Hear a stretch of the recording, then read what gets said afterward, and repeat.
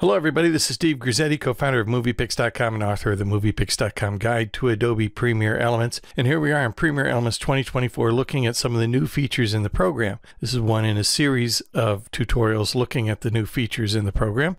And one major feature worth noticing is the interface itself, which is brand new. It's more modern, it's clean, it's bright, and it's not your only option.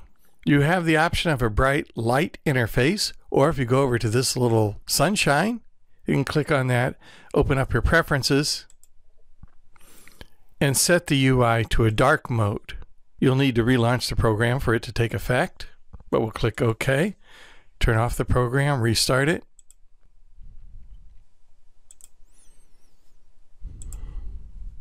And here we have the program in dark mode.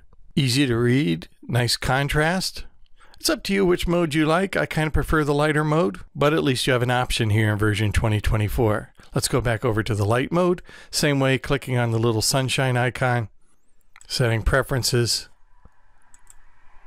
to light interface, and restarting the program.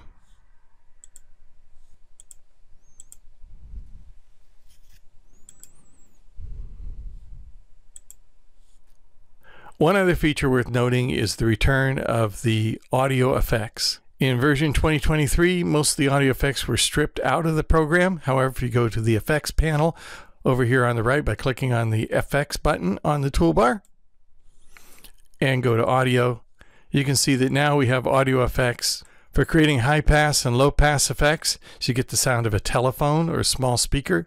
There are notch filters and equalizers and even a reverb, a studio reverb echo chamber. So it's nice to see those return also here in version 2024. Now we've got a couple other tutorials that will show you some of the other new features that are available in version 2024. If you want to know all about these features and how to use them and where they're located in the program, you want to check out the tips and tutorials we have at Muvipix.com.